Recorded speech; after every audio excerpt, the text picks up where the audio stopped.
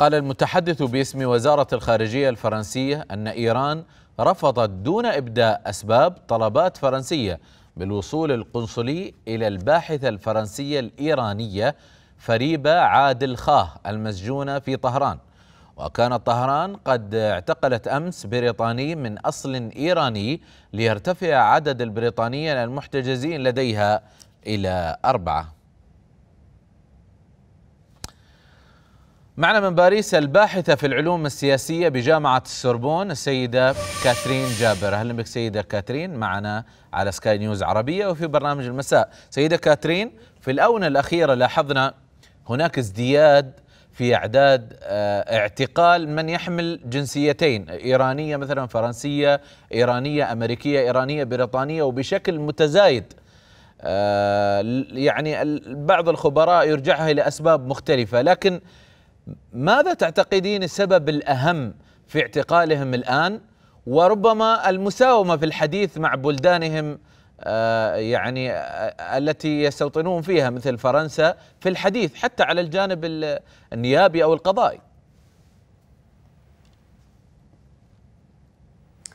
أهلا بك. يعني في طبيعة الحال هناك أسباب طويلة المدى. هي في السياسة والقناعة والأيديولوجية الإيرانية تقف وراء هذه الاعتقالات. وهناك طبعا أسباب حديثة آه، جعلت النظام الإيراني يقوم بهذه الممارسات. آه، فبالطبع من الأسباب الطويلة الأمد هو أن إيران لا تعترف بفكرة ازدواج الجنسية أو أن يحصل أي شخص على جنسيتين آه، إيرانية أو بريطانية. معها البريطانية أو الفرنسية أو الأمريكية. آه، فهذا هو في المنطق الإيراني آه، يعني غير مقتنعين به. آه، بالإضافة أن هناك بالطبع أسباب جديدة لاعتقال أو زيادة نسبة هذه الاعتقالات. فنحن قد رأينا أنه منذ 2016 هذا الأمر ليس بجديد في في التصرفات الإيرانية التي اعتقلت أيضا نازين زخاري الإيرانية البريطانية منذ عام 2016 آه، وأيضا تم اعتقال الفرنسية آه، آه، فريبة منذ منذ أشهر. وهناك تم أمس تم الإعلان أيضا عن إيراني بريطاني تم أيضا القبض عليه ومحاكمة هؤلاء الأفراد. الأسباب الجديدة هي أن بريطانيا هي أن إيران قد أدركت أن أوراقها السياسية وليست الحربية أو العسكرية قد فقدت كل أوراقها السياسية في وجه أوروبا وهي تريد أن آه، تحتفظ أو تبحث على أوراق يمكن أن تلعبها بوجه الطرف الأوروبي في حال أن ذهب تماما إلى الجانب الأمريكي آه، للحفاظ عليه في في منطقة الحياد.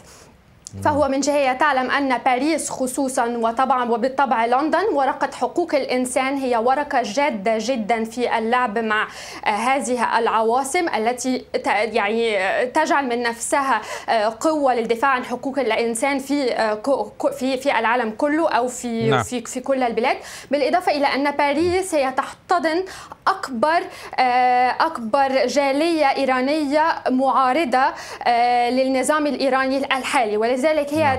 تستخدم هذه الورقة الأول لسببين للضغط على سواء المعارضة الإيرانية التي بدأت في آه، المطالبة بحقوقها ومواجهة هذا النظام والمطالبة بإسقاط النظام الإيراني آه، مستغلين آه، توتر الأحداث تجاه طهران في هذه الآونة.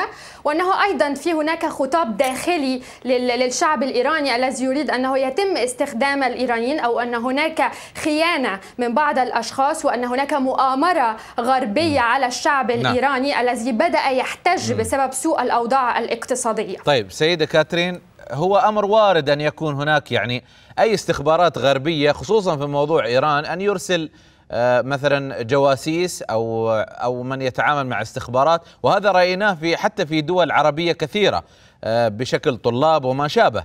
لكن في الحالة الإيرانية يعني نشاهد أن العدد كبير جدا. آه، من من تاريخ محاكمة هؤلاء ما الذي اتضح حسب خبرتك؟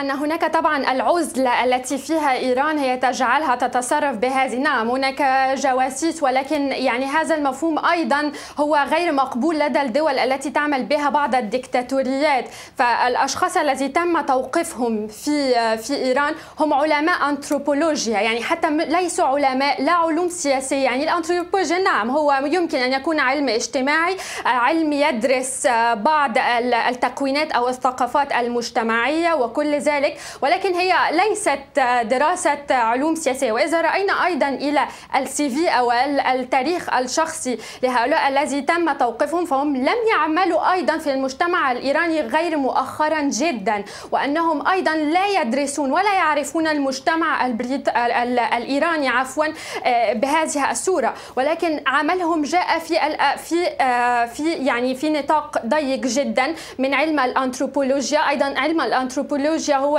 يمكن أن يدخل في الأنثروبولوجيا الحفرية وكل ما هو يعني يعني ليس له علاقة آه، قوية أو وثيقة بالسياسة. ولذلك هي في هناك أيضا أسباب أخرى. هي يمكن أنها تشبه عملية تبادل اسرى فقد تم توقيف خصوصا من المخابرات الأمريكية تم توقيف العديد من الإيرانيين الذين كانوا يعملون أيضا حتى في فرنسا ليس في الولايات المتحدة لصالح الاستخبارات الإيرانية. ف في مطلع هذا العام تم توقيف أيضا مهندس كان يعمل في شركة آه، في في شركة فرنسية تختص في صناعة وابتكار الأسلحة آه، والتي كشفت هذه الأخبار نعم. هي المخابرات هي شبكة السي آي إي آه، الأمريكية. وتم توقيف هذا المهندس ولذلك يمكن أن تكون إيران هي تلعب هذه الكروت وقد توقف اشخاص هم ليس لهم أي علاقة أيضا بالاستخبارات الأوروبية سواء البريطانية أو الفرنسية نعم. وصلت المعلومة. لعملية هذه تبادل الأسرى يعني إن صح التعبير. أشكرك كانت معي من باريس الباحثة في العلوم السياسية بجامعة السربون السيدة كاترين جابر. شكرا جزيلا لك.